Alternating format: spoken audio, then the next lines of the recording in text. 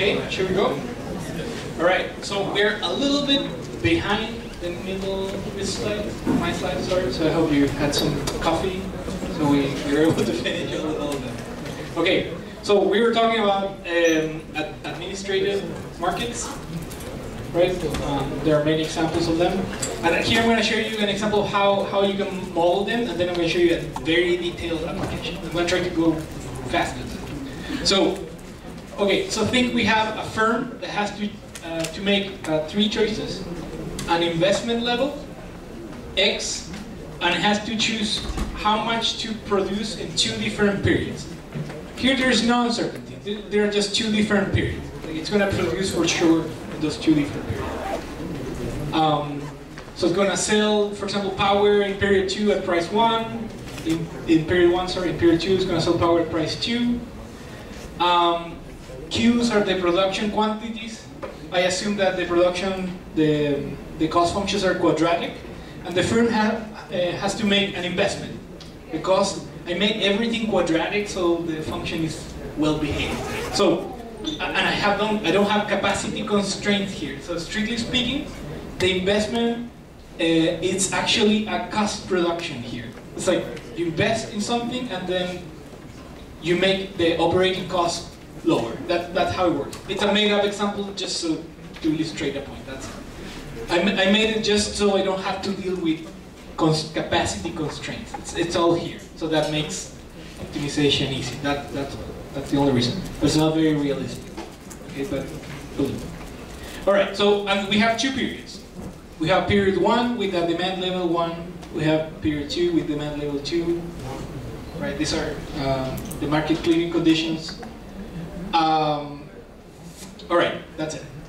So if there is no price control, uh, we take we just take the KKT conditions of this problem.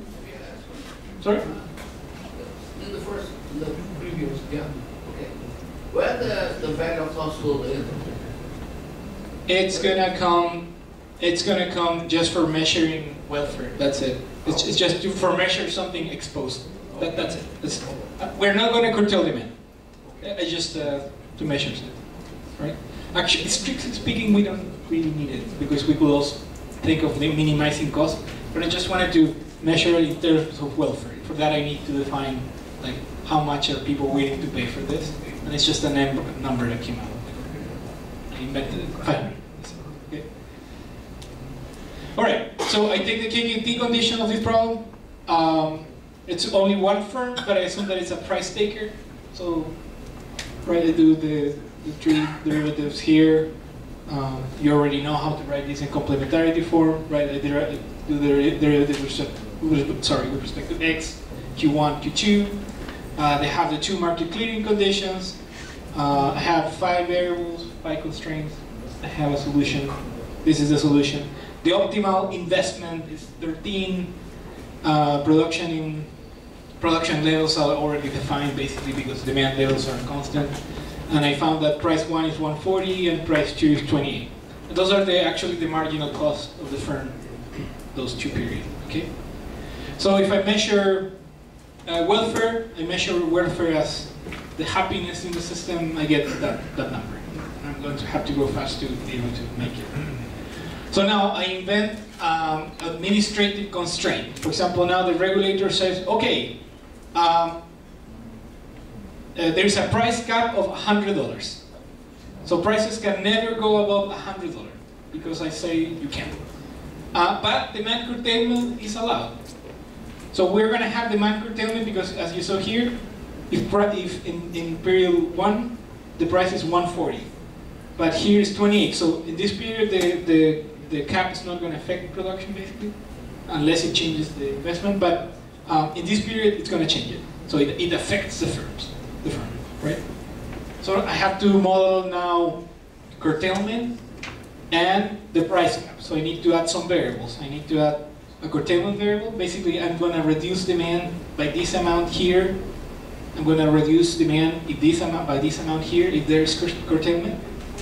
And the curtailment variables are introduced as complementarity constraints. Basically, this says if price if the price in period one is strictly less than 100, then the curtailment is zero. Right, exactly. If we don't violate the, if we don't hit the cap, then there's no curtailment. That's what it says. Okay? And if, if we violate it, then uh, the, the value of that is determined from this equation. Basically. If I solve this, surprise, uh, I hit the, the, the price cap here, 100, and that, the, the problem is that that changes my investment decision as well. I, am going to invest differently if there is a, a, a rule. And here, my optimal investment decision was 13, and here is 1.4. So it changed a lot. And that also indirectly affected the price in the period too. Why? Because I changed my investments. And my investments affect my marginal cost. And that affects the other period too. Even though I don't hit the cap, it still changes it. And if I compute happiness here, welfare, it's lower. It's lower than this one, okay? Because the price cap that the regulator imposed, 100, is not how much customers are actually valuing electricity. Customers are willing to pay up to 500 for electricity, but the regulator said, no, no, no, no, up to 100. Okay, well then it's going to be some curtailment. Okay, so you lose 25% of happiness. So there is an impact. Okay, here's a more intricate uh, example. The regulator decides that uh, prices cannot be different between the two periods. There has to be only one price. Uh, the price is going to be the average price. Okay? So this is the rule. The regulator said, the price I'm going to pay you firm for what you produce is going to be this average. Okay? So, um, if we go back here, you look at this, and you know that the prices, the optimal prices are the marginal cost of the firm. Right? There's only one firm. Right? So the, the optimal prices are the marginal costs of the firm. So um, the average price can be from, from these constraints right? You can, you can find P1 from this constraint, P2 from this constraint, and if you compute the average price, you can express it like this. That's the average price, okay?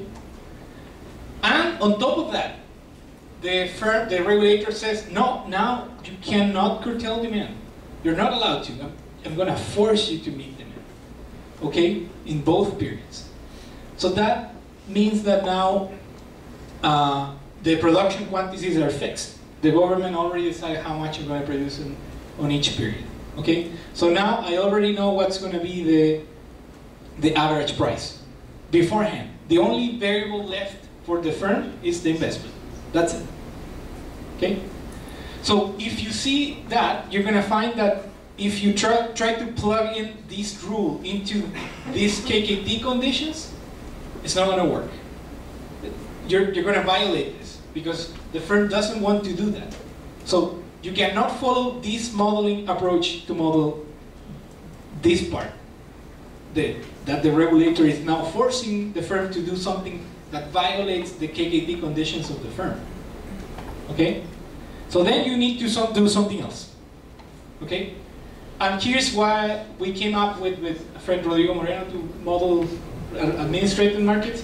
One way to model it is to think as the firm, as a firm that invests and then basically gives the firm, the plan to the operator or the regulator and forgets about it. Like there, there are no decision variables for the firm in terms of operation. The firm invests, pay for the investment, give the plan to the regulator, and receives a payment in exchange for that. And that's it. But the firm is like blind to operations because it the, the regulation doesn't meet the KKT conditions of the firm. So it doesn't make sense to model it. Okay? You violate that. So one way to do it is to just think, look at, at the problem of the firm now like this, as a much simpler problem. You invest in X capacity, you pay this for the investment, and you give that to the operator, and the operator pays you back a price P for every unit of capacity you put on the table. What's the operator going to do with that? No idea. No idea. Just gonna give, see a price in exchange for that. Okay? So the regulator is a- an administrative function to determine that price pi. Okay? So the firm is blind to what happens in operation. Okay. Um, turns out that if you know the average, you know the sorry, the, you can express the average price like this. You know these quantities. Uh, you can express the short-run profits for the firm like this. Okay. Basically, you can rewrite it. Um, th- these are the short-run profits for the firm. Basically, that's that's the payment. Sorry. Before you divide by x, these are the profits for the firm. They're gonna get for, but the the regulator is gonna pay them per unit of capacity. So you have to divide by x. Okay, so that's the payment for the firm. Okay, the only problem here is that this payment comes from the market. So the firm here we're assuming is price taker with respect to this. Like the firm doesn't know what's the rule, just puts the capacity on the table and there's a payment back. Like the, the firm doesn't try to be strategic about what the regulator is doing. We're going to see that in a few more slides. Not- Not strategic behavior. Okay. So um, this is the pricing rule basically. The, uh, the, the regulator is going to pay you this. Basically, if you invest in something, and if you invest in nothing, it's going to pay you zero, of course. Okay? So now it's like we have this this problem, the investment problem. You get that price, uh, the the price, and instead of having like a market clearing condition, I have this constraint that says that variable comes from this. So now you write the KKT conditions, and you have two unknowns, pi and x, and you have two constraints, this one and that one. Uh, should be 2 times i and x. Yeah, it, except that i is 4. Okay. Yeah, it's, it's i. Yeah, it's fine. Okay? If you solve this, you get that the optimal investment level in this case is 7.8, and the average price is 146.8. So, deregulated prices. If the prices are, if the market is completely deregulated, sorry, this. Optimal investment is 13, price 1, 140, price 2, 28. If there is a price cap, optimal investment 1.4, price 1 at the price cap, price 2, 74.44. If the regulator says now we're going to use average pricing, optimal investment is 7.8, average price is 146.4. Okay, so depending on the administrative rule you have, uh, firms are going to change their investment strategy. Okay, so you can use these models to uh, quantify basically what's the impact of these administrative rules. Welfare, happiness. It turns out now uh, uh, this rule distorts market, the, market, but in this case, the distortion is not that big. It's only 2 point, you, you have a 2.7, 2.6% loss on welfare. Anyone has an insight of why the loss is not that big in this case? Because vol is very. Mm, could be. There's something else about the prices. Why do you think that this doesn't distort things that much? It, distor- it, dis- it distorted, but not too much. What's average pricing doing? So the optimal prices are this one, right? And now I'm going to give you the average. It's not the average of these two numbers, it's the average of the endogenous, right, price. But think about these two. It's like I'm going to pay you the average. So if I'm going to pay you the average in the period one, I'm going to hurt you or give you more money than you deserve. And in period one, I'm going to pay you more or less than what you deserve less. In period one, it's high demand, right? So in period one, uh, you're gonna be unhappy, right? I should have paid you more, but I pay you less. But in period two, I'm gonna pay you more than what you deserve. It kind of averages out, right? That's why in this example, it's, it creates a distortion, but it's not too big. What do you think that will happen if, to this example, we add a storage unit that is arbitraging energy between period one and two, and we say, oh, we're going to use average pricing. Do you think there will be a distortion there? You're a, a storage owner, so your, your, your money comes from charging cheap energy and selling more expensive energy. Do you think there's going to be a distortion? instead of giving you the two prices, I give you one price. What, are there going to be incentives for the storage unit to enter that market? Or not? No, the, the owner of the storage unit lives off price differences. If you don't give the owner price differences, there's no business, right? So it depends on what you're analyzing. In this case, there's not much of a distortion, but if you change the example, there could be a big distortion. Okay, that was just an illustration. Now let's make, let's look at to uh, an applied example. So this is an analysis we did with uh, a former student we have, Gabriel and Rodrigo Moreno from Universidad de Chile, on a carbon tax that the Chilean government imposed very recently.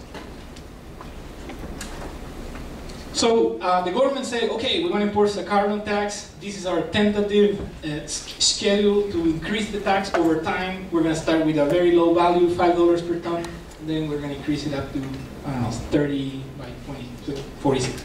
It's, it's, it's a plan. It's not written in law. But right now we have a tax of $5 per ton. And we were the first ones in South America doing this. And of course, by being the first one, uh, we got a lot of attention from international agencies. The, the, International Energy Agency wrote a report that said, look, Chile is doing the right thing and the IEA applauds this. So, congratulations. There's this recent book by uh, many big names are there, it's also Peter Cramton, Steven Stoft, where they talk about the importance of global carbon pricing, a couple of Nobel Prizes in economics here too, where they also cite Chile. They say, look, Chile is the other section in the world of a country that's doing the right thing. The only problem is that they didn't look at the fine print of, of, of the carbon tax. Okay? One interesting thing is that I think we were the first country in the world implementing a carbon tax that uses a cost-based market and not a bid-based market. In a bid-based market, uh, the regulator imposes uh, some regulation, and then it's the problem of the firms to whether to include that or not on their bids. In a cost-based market, any regulation like a carbon tax needs, need, needs to have some uh, companion document to say how are those costs going to be included in the dispatch. And that's a problem Chile. Okay? And there is evidence that in bid-based markets, firms include all of those costs, all of those opportunity costs on their bids. Like if, you, if, if a coal power plant is facing, you know, like a $20 carbon charge, uh, economists have measured that they adjust their bid by $20 upwards, not, not a different number. So they include what they should include. They do what the models predict What's the problem? So in Chile, the carbon tax has two unique features. First feature, there's a pass-through restriction. Basically, the government said, look, we're going to implement the carbon tax, but we don't want to change the economic dispatch of the system. Weird, right? Um, so that means that we operate the system as if the carbon tax doesn't exist, and at the end of the year, in December, the regulator looks back and counts emissions and sends a bill to all the power plants saying, look, you emitted all of this, you have to pay for this. Okay? That means that the dispatch is confiscatory because there are hours when firms cannot cover their, their short-term costs, right? And obviously, the carbon tax doesn't reduce emissions in the short term because, by definition, it's not included in the dispatch. Okay? So, first big mistake. Second problem, there, are, there is a side payment rule that says if, if you are if you're losing money in an hour, all of those losses, say this is the spot price, computed this without without the carbon tax. All the losses, we're going to sum them, all the losses, and then we're going to prorate them among all units. All running units are going to pay for the losses of the generators that are, that are not covering their costs. what's the implication of that? Is that, for example, say in this hour we have these units running, and the only unit that is facing a carbon tax is the coal. That unit is setting the price here, because the tax is not considered for setting the price. But it, and so it's losing all this money in that hour. The regulations say that all these losses are prorated among this unit, that unit, that unit, and that unit. So that means that, for example, if you own a solar power plant, you pay some of the carbon tax that is faced by a coal unit. Okay, so hard to justify this. We don't know why they did this this way. Like, there's no official like reports that say, "Hey, we did it this way because of this." No, but um, we talked to some people, and they say it was like a political constraint. Basically, we want a carbon tax, but if we include it in the dispatch, prices are going to go up in the short term.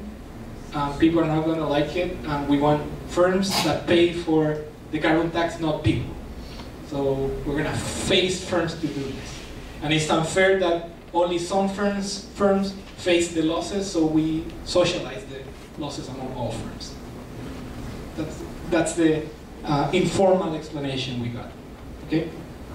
Okay, so we were curious, we were like, okay, this is obviously wrong. Okay, you don't, you don't need a model to know that this is wrong. But our question was, how wrong is this?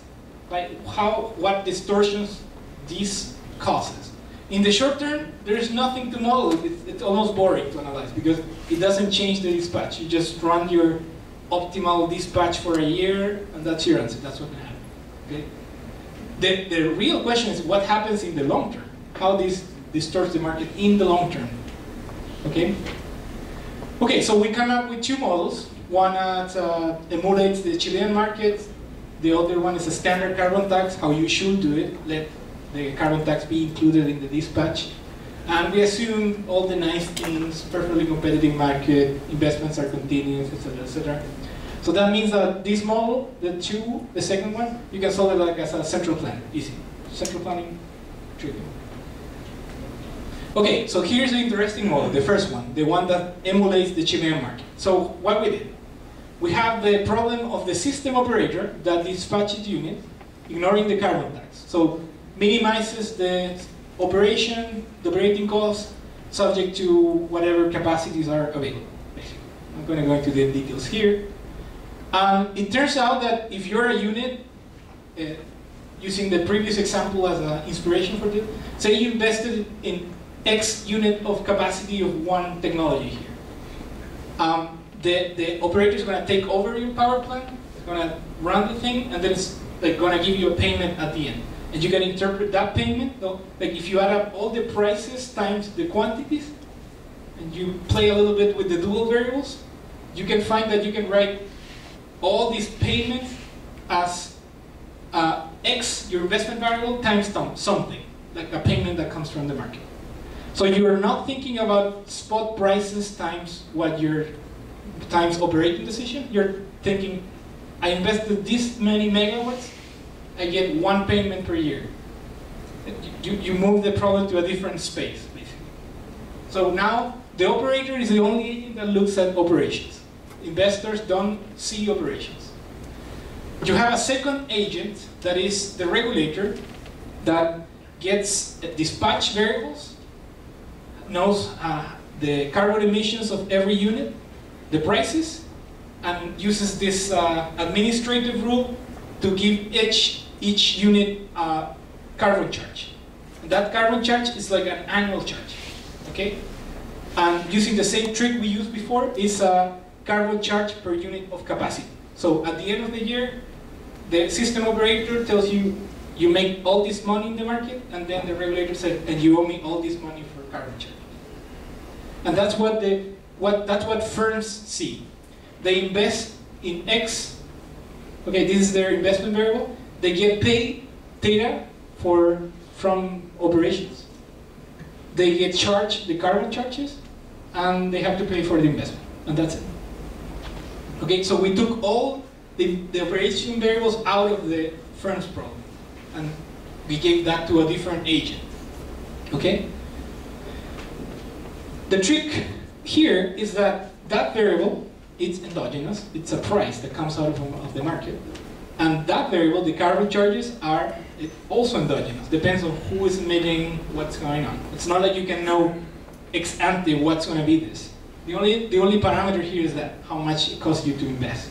That's it. But everything else is variable, variable, variable. Okay? Well, turns out that um, if you assume that those carbon charges are fixed, like if they're parameters, if this is a parameter, you can collapse this whole problem into a central planning problem that just minimizes investments plus operating costs, like trivial. If that is a parameter, but it's not, right? It's not a parameter. It comes out of the market. So what we did is we used this approach proposed by Greenberg and Murphy where they say, you know, when you have something endogenous like this, you can do like Gauss-Seidel iterations. Like find out what's the equilibrium of this market with that fix, and once you know the outcome of this, you compute the carbon charges, debate again, you update that, and then you solve again. If you converge, you can show that that's a KKT point, that's an equilibrium point, and that's the actual problem that you want to solve. That's how we found it, okay? Uh, does it converge? Yeah, sometimes if the function is nice, uh, but in this case, it's not. Okay, and there were some some tax ranges where this didn't converge. It doesn't have to converge because the administrative function here, it's a it's a black box. It's like what the regulator came up with. It doesn't have it doesn't need to have nice properties. It might be a complicated functions full of if this, do this, else do that. There's no guarantee that this is going to converge. So you're lucky if this, if this gets you somewhere, but it might not. Okay. And then we have the standard carbon tax.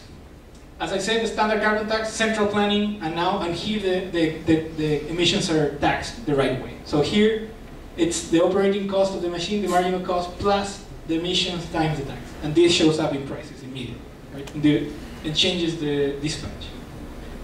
Okay, and this model gives you the efficient solution. That's the right thing to do. Okay, so these are the right investment, this is the right dispatch, and this is going to give us the optimal emissions. There's no way you can improve upon this. So the other model is going to deviate from this.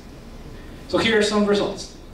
The blue lines show uh, what, what the Chilean tax does, and the orange one is, is the standard tax, like our benchmark, the optimal one.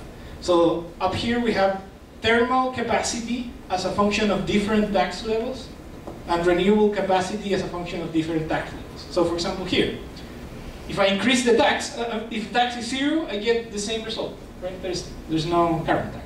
So both models give the same result. But as, if, as I start increasing the carbon tax, uh, what you will expect from a good carbon tax is that you will offset investments in thermal, thermal technologies and have more investments in renewables. That's like what you would expect. Both do that, both do that thing. They both move investments in, in that direction, the one the direction you expect. The problem is that the magnitudes are different. Okay, uh, a carbon, uh, the Chilean tax offsets some investments in capacity, thermal capacity, but uh, the standard tax is reduces investment much more. Obviously, this plot, this uh, axis is, doesn't start from zero. Okay, but here's where you see big differences in renewable capacity. Okay, with with the standard tax, you get like 250% more investments in renewable generation capacity. Uh, what happens to emissions, which is why we implemented the tax. That's the whole point of the tax, reducing emissions. So these are emissions as I increase the carbon tax. So with the Chilean tax, with these administrative restrictions, I increase the tax and reduce, uh, emissions go down. Okay, so it reduces carbon emissions. But if we had a standard tax, carbon emissions would be much, much lower. Okay, so for a, for a $30 tax, which I believe we're going to get there and probably go way beyond that, um, a standard tax uh, gets you 61% less emissions than the Chilean tax, just because we have these administrative rules. Then we ask the question, okay, uh, say I grab a point here. So for example, this point. I, so we ask the question, what would it take us? What tax would we need to achieve what standard tax we need to achieve those same emissions that the Chilean tax will give us. So for example, for a tax rate of 30 here, those levels, those carbon emissions, we could achieve those same carbon emissions with that standard tax of 3.79. It's like with one tenth of the tax, we could achieve the same level of carbon emission. So it's extremely inefficient. Okay? Then we asked the question of, well, what happens to prices? Because some people said, well, okay, it's not that efficient. But at least the Chilean tax protects people because prices are not increasing. So firms are paying for this. We're like, eh, we're not sure about that. Let's look at prices. What are long-term prices? These are the prices that cover all costs, not just the spot prices, it's everything. Okay? So it turns out that as we increase the tax, both prices increase. Okay? And there is a point where actually the Chilean tax achieves higher electricity prices than the standard tax. So maybe that statement that it protects customer might be a little bit true down here, but as we increase the tax, no, you're not protecting customers. Actually, you have less emissions, sorry, more emissions, and it's more expensive. And, and this was a very controversial picture when we showed it to the regulator. What happens with tax revenues, which is what the government is collecting from this? With the Chilean tax, you increase the tax, and tax revenues just keep increasing, like linear. If you're short of money, this, this is pretty good. Right? With the standard tax, you start increasing the tax, and eventually there's a point where this like flattens out. Do you know why this happened here? Any insight why? Why with the standard tax, like some, at, some point, this thing like flattens out? How far ahead are you looking? Just one year. Like a one year investment, that's it, annualized investment. It's, a, it's like a Toyota problem. You're almost not investing in your uh, in carbon emitting units, so they don't get. What the, yeah, what the government collects is tax times emissions, the annual emissions. So if you keep increasing the tax, for this to stay constant, then emission has to be going down pretty fast, right? And, yeah, that's what happened, right? Like here. So you increase the tax, but then emissions go down pretty fast. So then you, your revenues are not that much, right? They, they kind of like stabilize. And that's what how it should be done, right? But this is it's better for a government that needs money. Money to pay for something. Ah, right. So our problem, right, is that there are very weak incentives for the regulator to migrate to that.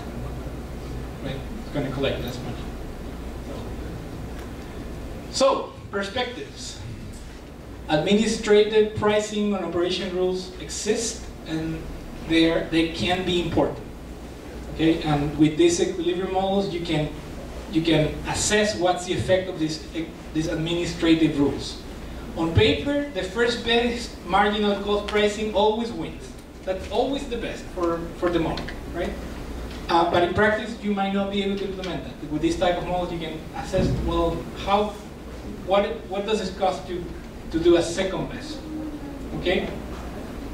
In practice, decision makers weigh the economic gains of removing the administrative pricing rules against the political or social cost of doing so. Okay, so maybe you're protecting customer, and then you say, okay, let's do the right thing, and then you have, you know, like a strike, like this, and then it's too costly politically, you can't do it. That's real world, not the model.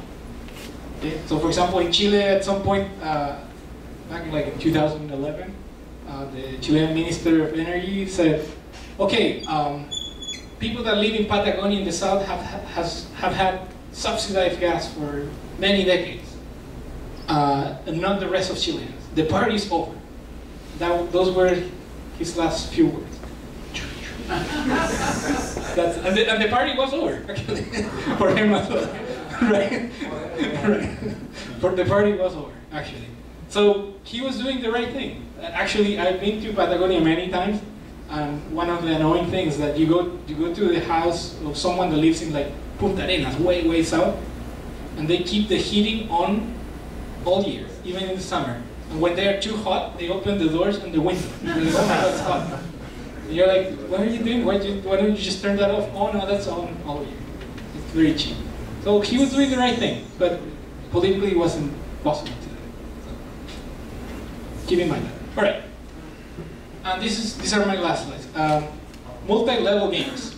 Okay. So um, we've been talking about these simultaneous games. We have the definition of La- Nash equilibrium. Uh, but here we're assuming that all players basically play exactly at the same time. Okay. Uh, but that might not be very realistic in some settings. Okay, sometimes some players kind of like know how the others are going to play, or one player is going to play before the other one. And in those cases, that definition doesn't really work very well. You need something else. Okay. So here's an example. I call it a monopolist game. This is I came up with this because I started teaching economics and industrial organization courses. And they never mention multi-level games. They just say, here's the example of a monopolist. This is a Cournot. This is a Stackelberg. I was like, that comes from like multi-level playing, but you're never explaining that. I was like, okay, let, let's, let explain this the right way. So say there is a single firm in the market that must choose a production level Q at a price P. So that's the objective function. This is the first order condition of that firm. Okay? And there is a group of consumers that might choose a production level D given a price P. And believe me that this is the objective function of of consumers. This is their happiness from consuming, and this is what they pay from, for consuming. They pay P, and this is what they get. Okay? And that's the first order condition. Anyone that had, are there anyone, is there anyone here that with a background in economics? No? Okay, you, okay. Here's the demand function, here. Here's a demand function. If you, if you put price on this side and here's an equality, this says price equal to 100 minus 2 times d. That's a downward sloping demand function. Okay? So this is in, in many economic courses, like exercises start with this sentence. There is a group of consumers with this demand function. Do this. Okay, but they don't really tell you, uh, wait, that came from here. Okay, there was a decision maker and the KKT condition that gets you to that demand function. Okay? If you solve this for a price taker monopolist, it's actually not a monopolist, just a, single firm that is price taker, uh, you get this solution. This is the efficient solution. So there's no market power here. Price is 50, uh, production quantity is 25. Okay, so say now that that firm is actually pretty, pretty clever and knows that it's going to face a group of consumers that have this KKT. Okay, so now I have the same monopolist, except that now the monopolist is going to choose a production level, knowing that down here consumers are going to choose a demand level solving this problem. It's like I take this problem and I put it as, as, a, like, as a constraint here. Okay, so now these guys know how this guy is going to behave. Okay, so I have like two optimization problems, one inside of another. Okay, and I have this market clearing constraint that demand has to be equal to supply, and the demand is going to be the solution of this optimization problem. Okay, the solution of this optimization problem can be written as a KKT with the KKT condition, right? So that problem, this is equivalent to saying this. Demand perpendicular to this. It's the same. First order condition. Okay? Okay, now we're that problem, we can give that problem to Sigrid. Sigrid's gonna say, I don't know what you're talking about. Okay? I just do simple simple optimization problem. I don't know what is this. You can turn that into a complementarity constraint. There are some solvers that know how to deal with that. Okay, but this is still ugly, nasty. Like, what is that? This is weird. Okay, but then if you make the assumption, I mean, first of all, you know that demand is equal to supply. So you can reduce, reduce the number of variables from here and make, make that constraint disappear. And now you have only Q's instead of D. And then if you, you have this, and if you make the assumption that you have an interior solution that Q is strictly greater than zero, then you can get rid of that, and this is an equality constraint. And then we're in, in, in the world that we know how to deal with, right? And then we have the monopolist that is solving this subject to knowing what's the demand curve, this. Okay? And once again, you have an equality constraint, you have two variables, price and quantity, but you can find the price from this. You can replace the price with this equation. And here you have the problem of the monopolist with a single variable. Everything that I did here, it's something that in an economics class is not explained. They, they, they sort of tell you, given a monopolist, done, this. They skip all the, the previous step. They say, the monopolists that know the demand, the demand curve. So you go and replace price equals to something function of quantity, you replace it here. And you solve this problem, and you find that the monopolist wants to produce less at a higher price, right? But the, one, the point I want to make is that this standard example from an economic course comes from actually a multi-level game. It's just that they skip this, this story here that said, where does the demand curve come from? It's actually another optimization problem. They never tell you. It's just that it's very easy to solve. Right? I don't know if that's clear. Yeah? Okay, so the monopolist doesn't act as a price-taking firm and withholds capacity setting the price above its marginal cost. Okay? And as I wrote here, if you take any, if you look at any book from microeconomics on industrial organization, they're going to tell you there is a monopolist with a cost function q squared facing a linear demand that is that. Find equilibrium price, quantity, and profit. And then that's the objective function. You solve it, but you missed all the intuition from where does that come from? You just say, okay, I'll do it. It's actually a problem, a bi-level problem. Okay. A Cournot game, uh, a variation of the previous example. Now there are two firms instead of one. There are two firms that make um, production decisions and they know what's the demand again. Instead of one, there are two. And these two firms make decisions simultaneously following, uh, and demand follows those decisions. Okay? And I use the same trick as before. This is hard to deal with, this is hard to deal with. I know the KKTs. I replace this with the KKTs. And eventually I, got, I get rid of the demand variables and the price variables, and I get to that, which is just taking the demand curve and replacing it here. Okay, and here I have what's called a Cournot game. It's kind of like Monopoly, but with n greater than one. Okay, more than more than two play, more than one player. So now there are two firms that know that if they withhold a little bit of production, the price is gonna go up.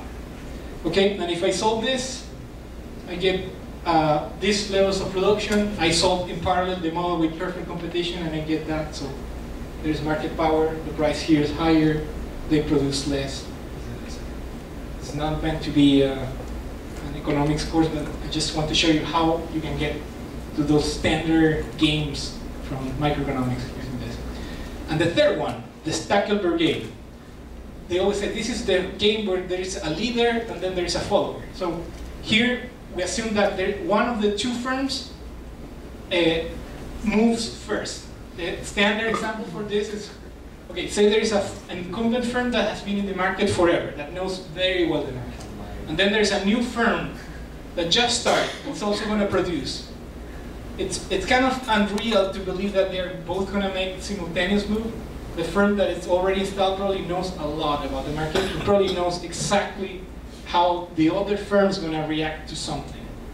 So here you have a three-level game Firm 1 make choices knowing how firm 2 is going to make choices, and they both know how demand is going to react to this. Okay, we have the market clearing conditions here, and again, we use the same trick, replace the KKT conditions and get rid of things, and then we, we keep moving up, up, and up. This is kind of like dynamic programming, like you start solving from the end and work your way backwards. Right? Okay. Um, same thing. Okay, closed form solution for the problem of consumers. Then you have a problem, at, you go from three levels to two levels. And once you have two levels, solving the lower level is easy. And then you replace information from the lower level and you give that to the first level, and then you just have one variable. And once you have that one variable, you once you want you once you know what is the optimal Q1, you replace that here, and you know what's the optimal Q2. And once you know Q1 and Q2, you know what's the demand, etc. etc. So here's a summary of what I did. The summary of examples. Okay, perfect competition with one firm. That's assuming that the firm and the consumers move, make choices at the same time, simultaneously. This is the production quantity, this is the price. Then I have a monopolist. So a firm knows that how consumers are going to react. This is the optimal production quantity, much less than before. Price is higher. Then I have a second firm, and I start saying, okay, there is perfect competition. Okay, that's equivalent to saying firm one, firm two, and consumers all move at the same time. That's the result. Then I say, okay, let's change that. Now let's assume that the firms choose first, and they know how consumers are going to react. That, that has a name called the Cournot. And then let's change that. Now assume, let's assume that the firm one is going to move first, followed by firm two, and consumers are going to follow firm two. That has a name. It's called Stackelberg. Okay, and all these assumptions change the results, depending who moves first. Okay. So, for example, here's an interesting fact. Uh, Cournot, of course, is worse than perfect competition, right? I'm just looking at the price. Prices are higher. There's market power. But if, if firm one moves before firm two, this is a little bit better. Okay, if there's one strategic firm, um, there's still market power, we're not there. But this is a little bit closer to 33 than 50. Any insight why if one agent is moves first, you get a little bit closer to the competitive outcome? No? They are producing much more. They're producing more, so they gain more, even though they have a bit less revenue. Uh, well, what happens is that firm one takes over more of the profits, and it's sort of like saturates the market, and then firm two enters and like accommodates does whatever it can, given that the other firm, you know, saturated the market.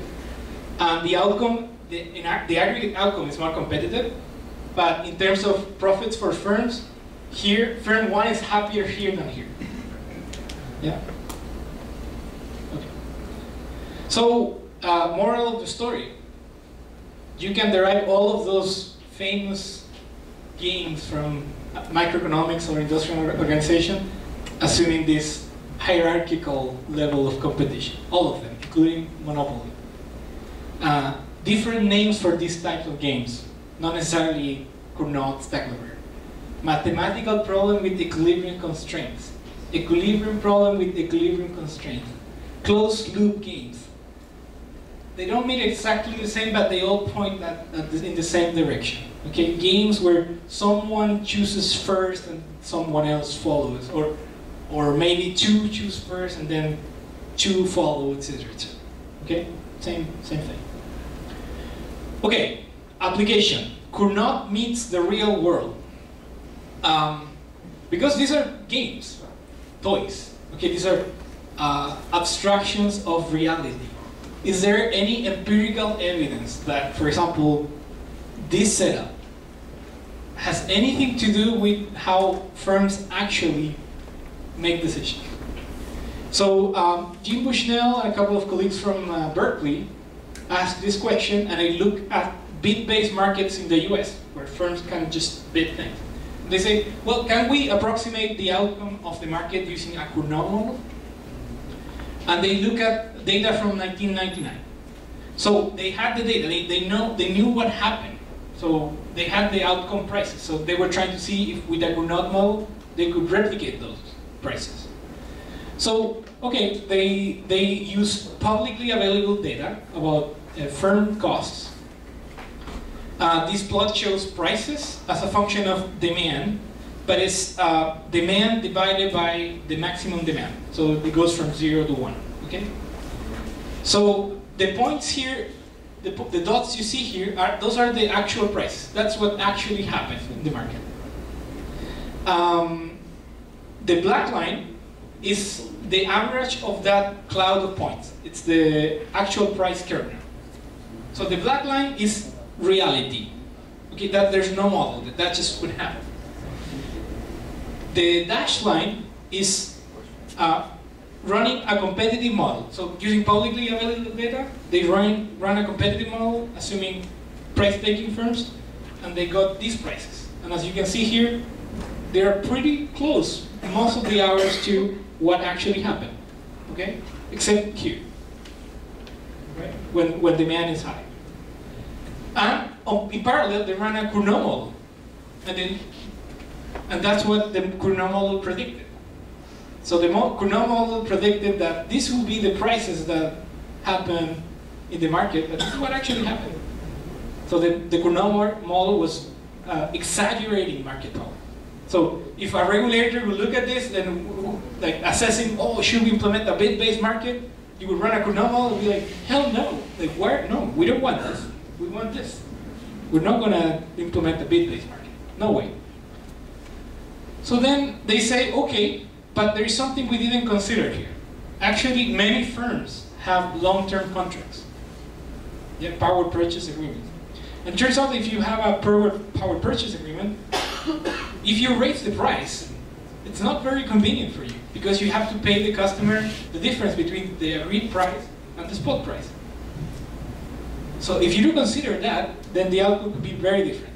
So then they consider the, uh, the contracts and they adjusted the Cournot model, they added the term Cournot model plus contracts. And that's what happened. Okay? Now the gray, the, the gray line, it's closer to the actual outcomes here. And actually it's pretty close. Okay? So they published this in the American Economic Review, pre- pretty, pretty respectable journal in economics. And basically their conclusion was, you know, these toy models can be pretty good if you use them carefully. Like if you consider the things you should consider, they point in the, the right direction. And the second, the second um, conclusion was contracts make a huge difference in market outcomes. Gigantic difference. If you don't consider contracts, that's the world you're going to be looking at. When this is the actual. Is there market power? Yeah, there's still market power. There, there's a difference here, right? But it's not as bad as that gray line predicted. Okay? So, very good to keep that into consideration. Here's the PJM market. The previous one was ISO New England. Here's PJM. Okay, this is what happened, and this is what the Cournot model predicted. The Cournot model said, oh, no, your market is too concentrated. If you do this, bam, you're gonna hit the price cap almost all the time. The market is gonna explode. But that's not what happened. And then they considered the contracts, and the models are pretty close to what actually happened. Is there market power? Yeah, there's still market power here. But it's not that. Okay, so the magnitude is completely different. You have to use these models very carefully. We asked uh, a similar question in Chile. In Chile, we have a cost-based market that we're thinking about switching out to a bid-based. And when I talked to people, when I came back to Chile, I went back to, Chile, sorry. Uh, uh, a lot of people say, no, no way, we can't switch to uh, bid-based because our market is too concentrated. And with a cost-based market, the outcome is always better because the cost-based market mitigates all market power. You can't win that a cost-based market. And I say, mm, I'm not sure about that. I said, let's, let's see. Let's, let's set up a simple model. Say we have two load periods. We have two firms. It's just an illustration example. So I set up a central planner. Okay, that gives me the efficient outcome. Then I set up a bid-based market, which is kind of like a Cournot model, except that it's two levels. So firms invest first, and then they know that they're going to face a bid-based market down here, where they might be able to exercise market power here too.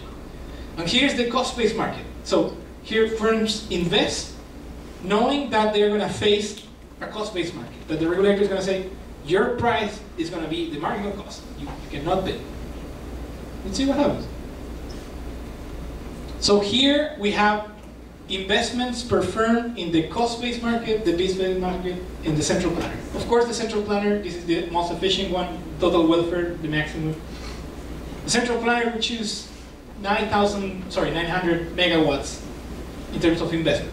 In the bid-based market, you get 600, and in the cost-based market, you get 500. Total welfare, highest here, but the order here is not what we expected. Actually, the bid-based market is better than the cost-based market. Not by much, but as uh, says, one counterexample disproves a theory. So your theory doesn't work here. Okay, maybe the difference is not very big, but you can't say this is always better than this because I can just come up, come up with a simple example show you that that's not true necessarily. It might be true in some cases. Okay, actually, we play a little bit with the parameters, and we found that for some parameters this flips. Sometimes the cost-based market, sometimes this is better, sometimes this is better. So you can't just assume that's like a, a general truth, right? What's the, what's the, sorry, the, the, the main conclusion of this is it depends on the market. But but you are adding the, the dimension of investment Yes. in this. Yes, investments. Yeah, otherwise, if you're not adding investments, then you're always going to conclude that this is better than this one. Obviously. Yeah? And here's the, the, a, a deeper problem. Prices are huge there. Right. Because investments are very different. Uh, It's much more, I, I don't know, Hmm? there's like one quarter difference of the price of the peak prices, and there's like fifty percent more investment, so Yeah. surprising. Yeah, surprising. I want to insist that this is a toy model. It's just to build intuition. That's it. In reality, comparing this is much more complicated because in a cost-based market, I mean, you're you're forgetting the information dimension. That here I'm assuming that I have perfect information in all this model. In practice, the main problem of comparing these two guys is that in a cost-based market, you tell the firms, "Tell me the truth, or I will, I'll kill you." Just tell me the truth. Maybe you get the truth, maybe you won't. Who knows? And here in the bid-based market, you say, well, I, I have put the incentive so you report your true cost through your bid, and I'm relying on a, on a mechanism for you to report to do that. And reporting your costs is not just reporting how much, what are your fuel costs, it's like your opportunity costs too. For example, Yes. if you have, you know, a gas turbine with intertemporal constraints, maybe you want to start later and not now. There's an opportunity cost of that. Auditing that is very hard. It's extremely hard. Uh, preferences, etc. So this is just a toy comparison. It, the actual comparison is much much harder. Okay, but it just makes a point. But as you said, since it's true, uh, bring intuition, how do you face the price differences between both in your target here? Like the peak and off peak Yes. price difference, what feeling do you get out of that? Um, These, results, like, why is the cost based facing a bigger peak price than the bid based? Through the return or no? Yeah, in, in the cost-based market, these guys have incentives since they know that they're not going to be able to raise their bids in the cost-based market. Yes. The only tool to make prices go up is to create scarcity. To say, okay, I cannot raise prices here in the cost-based market because you're gonna are not in, when demand is low, probably the constraints are not gonna be active. So there's nothing I can do there. But in the peak, the demand hour, I can withhold capacity and make constraints become active. And when constraints become active, boom, prices go up. In the, in the bid-based market, it's different because uh, you don't need a constraint to become active to prices to raise because you, you can bid. Yes. So it's almost like you here, you concentrate the market power here because that's the only point where you can do exercise it. But here you exercise it in both periods. But you, you could say that whenever you try to force people to go to the competitive enough, artificial way, they will figure out another way to play that game. Exactly. And then this, the only thing that they can do now is to invest less. hmm So that See the that peak it prices will are be more under the low cost one. Yes, yes. That, that we, yes, we talked about this with Frank Wolak. He has, he, he said, yeah, the problem, they, he said, the problem we have in the, at the California ISO is that most, pe- most people only think about market power in terms of bidding. Like, like you bid differently and that's market power. Or you lie about ramping limits and that's market power. But there's a whole other dimension of market power. I can delay the entrance of a plant and, you know, skyrocket prices. That's also market power. It's just much harder to monitor and control. Okay? Let me think. You know, on, on the uh, on the cost-based market, you must assume that you have perfect information. Here we You assume that you, you, you don't need that assumption on the bid-based market. on the bid-based market, You market, don't need that assumption. you It's you're you're information is private. you're you're relying on the market.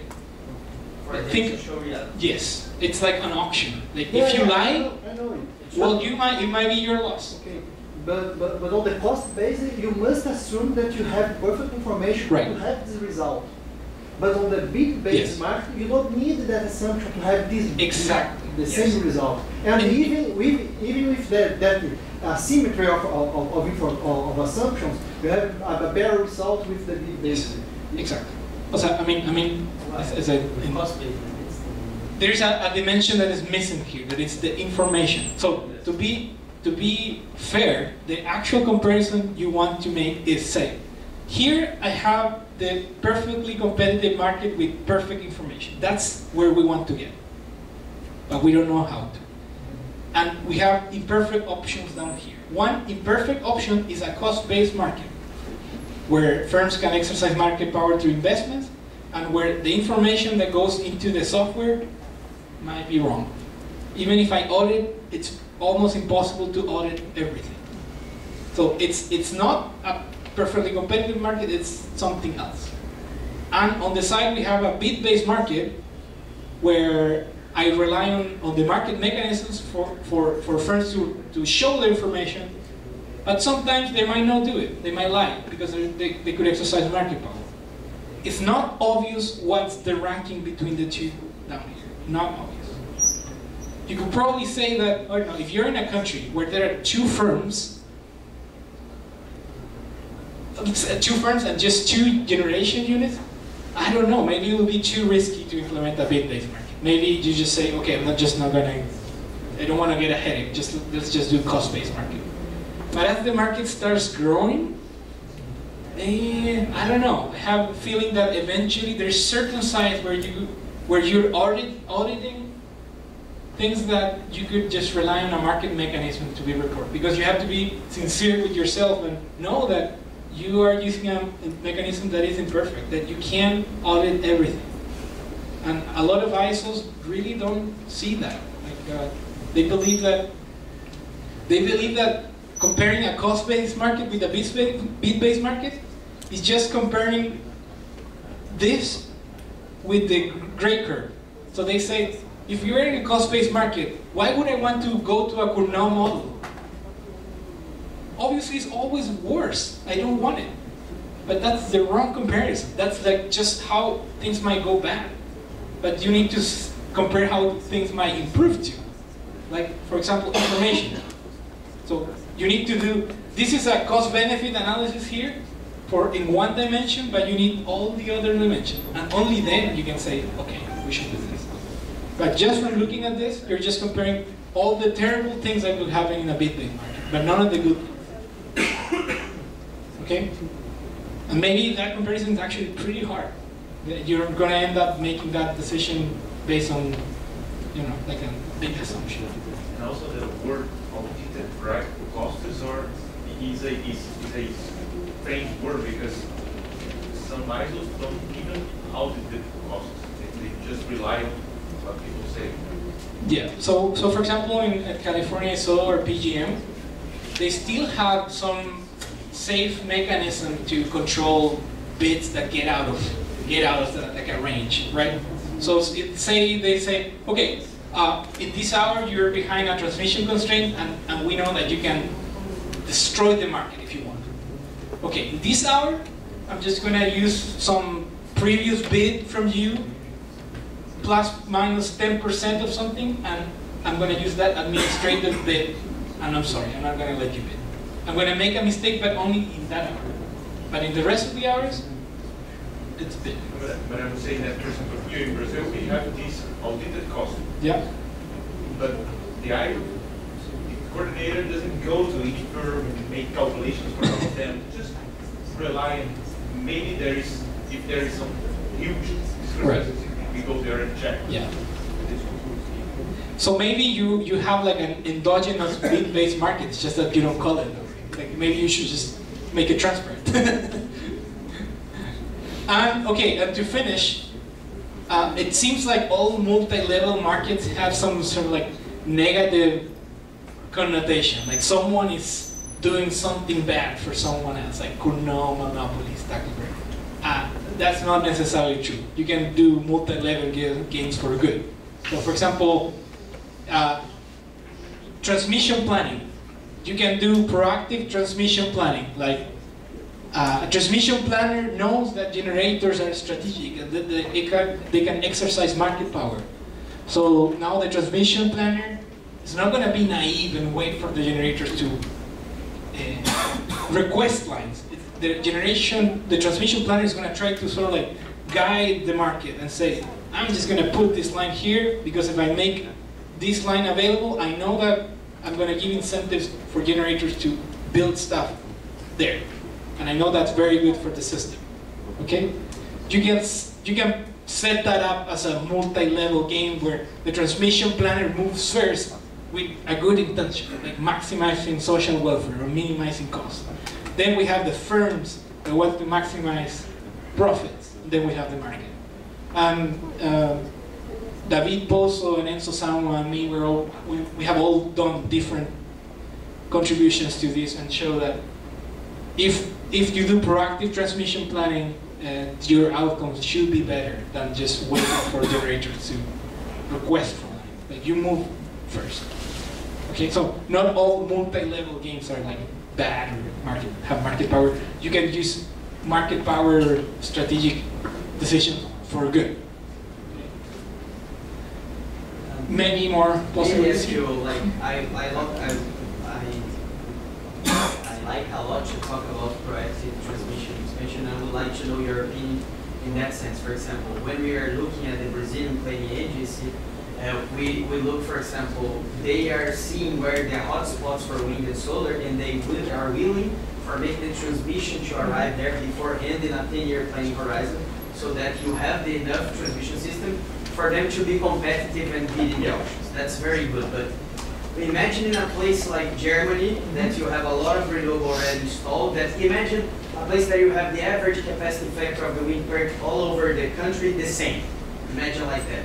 And you don't know where, and you have, let's say, gas nodes, whatever, spread out. So how would you do a, tra- proactive transmission planning? So which information do you need so, so that this layer can exist before generation decisions? Well, I think I'm going to try to answer your question indirectly. Um, you're familiar with stochastic programming, right? You know the value of the stochastic solution, right? The value of the stochastic solution, how, how much you improve your decision using a stochastic tool instead of some deterministic, right? Like the, using the average value of parameters, expected value. Here you can also compute what's the value of being a proactive planner. Okay, what's the difference between being reactive, like waiting for invest, generation investment to occur and then add the line, versus going first? And it could be that that number, or the system you mentioned, is this big. Okay, it could be that for that system, maybe being proactive doesn't doesn't add you much value. Then don't bother with this. Like, but there are systems where that equivalent value of the stochastic solution is big, and then okay, you should push the regulator to go there. But if you have, you know, a system where I don't know, there are lots of available resources with similar qualities, and the the grid is very meshed. it's like if you don't plan now, you fix things later. It's not too different compared to like trying to do it before. Yes. So that's the way I think about it. I don't know if I answered your question. Yes. Yeah. Um, so we're done. Final remarks from today. Market is just a tool that can be used to achieve an objective. Okay, don't pray to market. It's just a tool. That's it. And in general, many of the best functioning markets are have some central planning in there. Okay, it's not just markets. And the equilibrium models I show you here are very useful tools to address questions about what's the impact of introducing this rule or this feature, risk aversion. Okay. Um, so relevant features are this, like you know, physical constraints, not smooth price behavior. That's why our equilibrium models are very complicated. When an economist looks at our models, looks and says, "Whoa, why do you want to model all of those things? Because they matter, you know." Unlike toy, toy problems in economics, environmental policies, new markets, uncertainty and risk aversion, importance of incomplete or complete markets, administrative restrictions. As I show you here, it's very important. They can deviate the market significantly. And strategic behavior, for the good or the bad. You know, like for proactive planning or for market power. And just keep in mind that the purpose of these models is not to predict what's going to happen exactly in the market. It's to learn, to get insight about what are the effects of changing rules or, or, or changing a little thing. It's very unlikely that you're going to be able to predict with precision the outcome, you know, like a price. You're, uh, remember that you're, we're here, we're modeling be, behavior, like decision makers, okay? Um, we have many assumptions, so it's very unlikely that we will get an exact answer. So the purpose of mathematical programming is insight, not numbers, okay? Um, so programming doesn't replace thinking. Like, you still have to interpret this, and, and maybe you won't believe what you're seeing. You're saying, "Oh, this is too simplified. I don't believe numbers." It's it's all open, of like open to interpretation. And don't overcomplicate your models unless it's strictly necessary. Like a lot of people that are starting this say, "Okay, I need to model everything, all ramping limits, all unique limits, everything. That's the only way to make the model better." Not necessarily. If you want to address like one specific question, maybe you don't know that. Maybe just gonna add complexity that you don't actually need it. And when someone says, I want to improve the models, improving the model doesn't necessarily mean adding unit commitment constraint. Maybe means maybe you have to consider risk aversion. Maybe that means improving the model. It's not necessarily improving the engineering representation of the model. Sometimes it means improving the how you model agents. Okay. Okay, so that's it. Here's a long like bibliography. Thank you very much for your.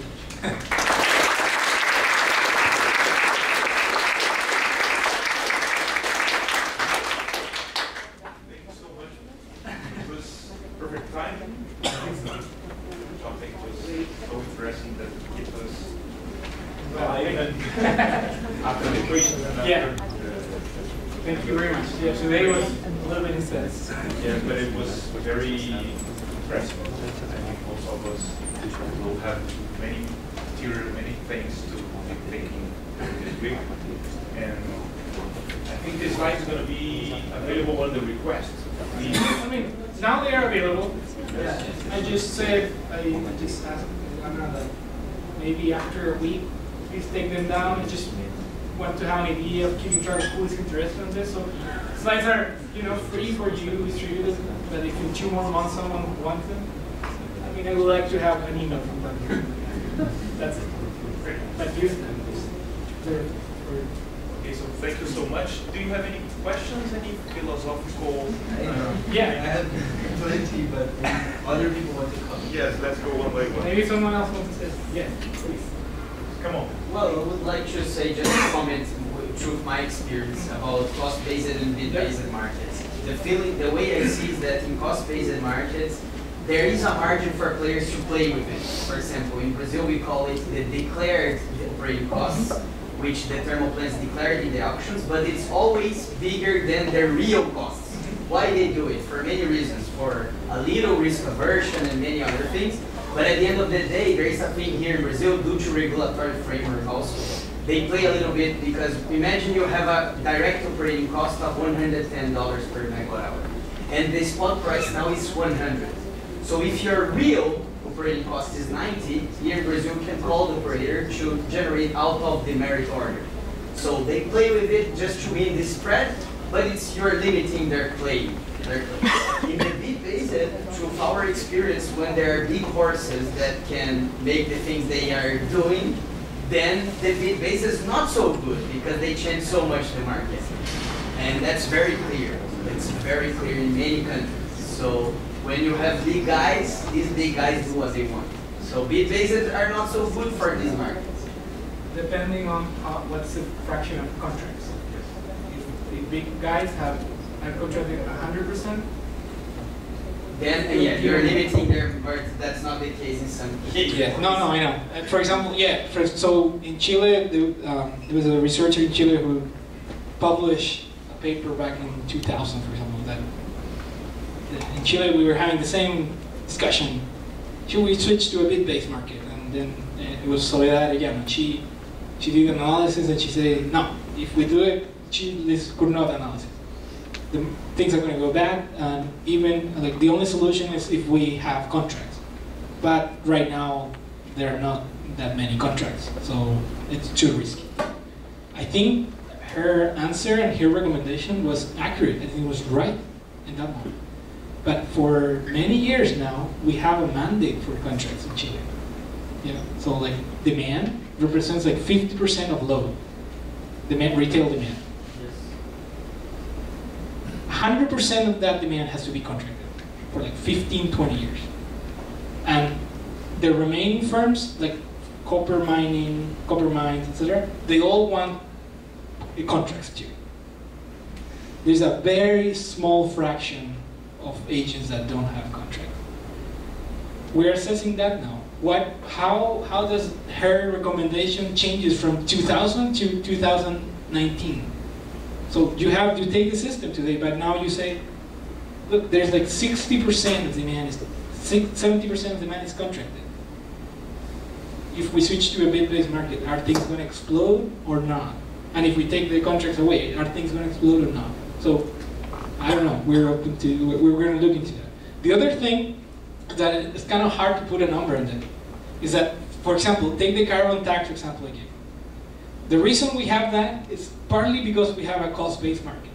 If we had a bid-based market, the cost of the carbon emissions would be included in the bid. That's it, Yes, that's right? So I think, I don't think by switching to a bid-based market, you're gonna see like much more efficient investment just because firms can report the cost better.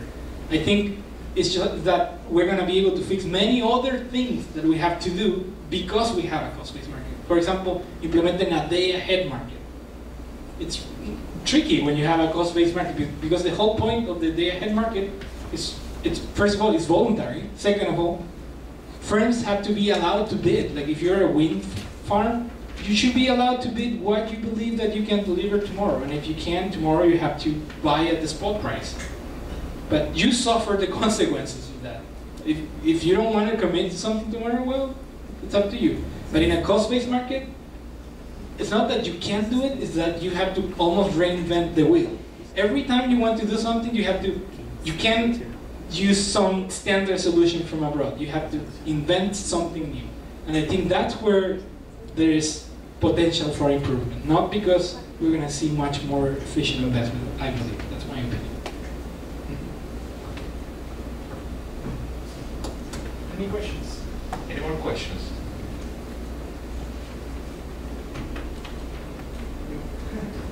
So, um, one one of the has a book of questions. Oh, yeah, of course. I'll choose the best ones to my. So uh, one of the main difficulties I think for planning and decision taking is that often it's very hard to measure that by a single number, and people have talked a lot about multi-objective optimization and etc. And at the end of the day, what I have usually seen is that somehow people like find a way to transform that to a single number by choosing some weights or prices or parameters or whatever they call it. And it seems to me uh, that this, in, in some sense, when you talk about risk aversion, it's probably something along this line.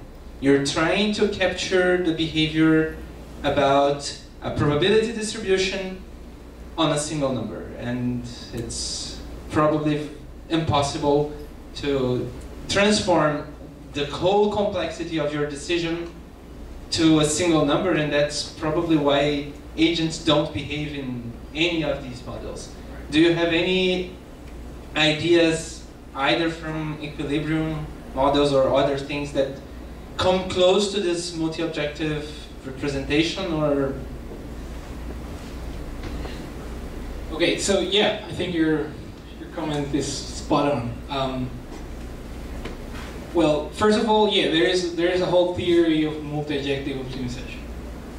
My advisor has a book on multi-objective optimization applied to electric electric power systems.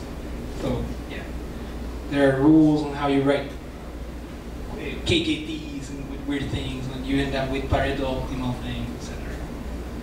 Um, with respect to risk aversion, I think it's a combination of risk aversion and then and rationality. I think has it's a mixture of those two.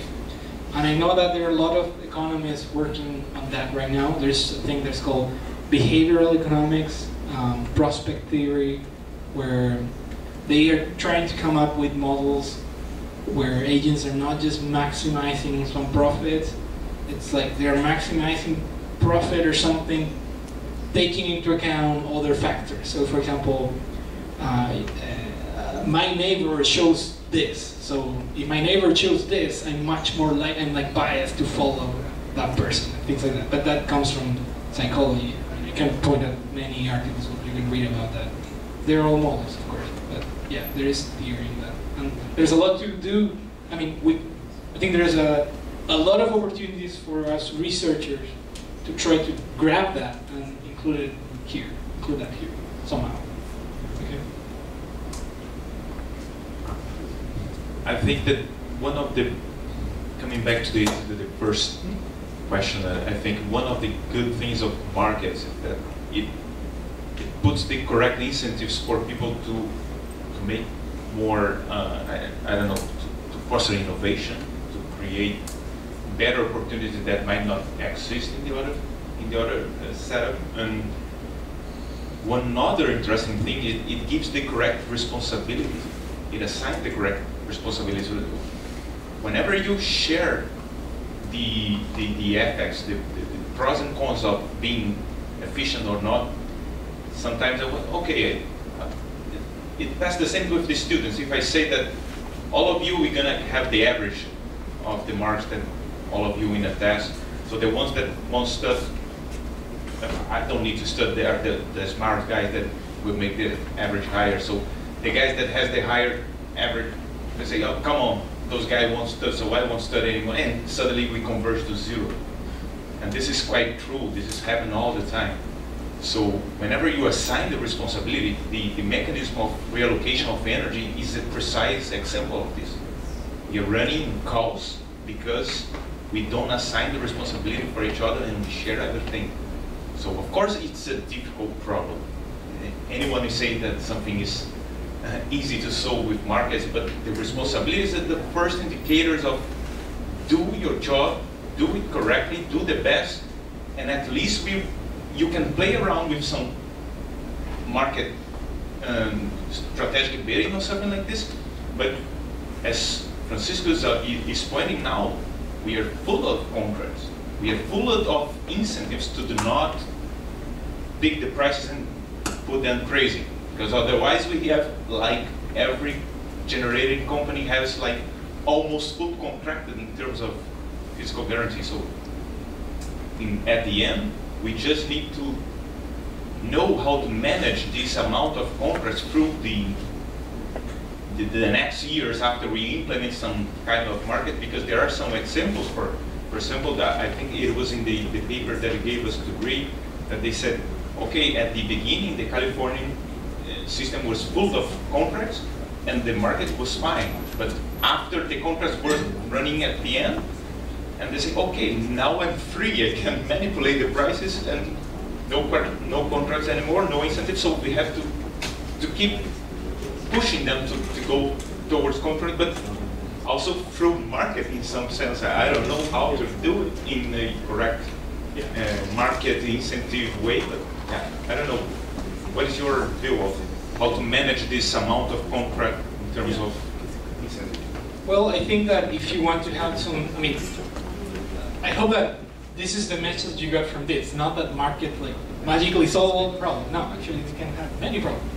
It's just that you need to have the right set of tools to analyze them.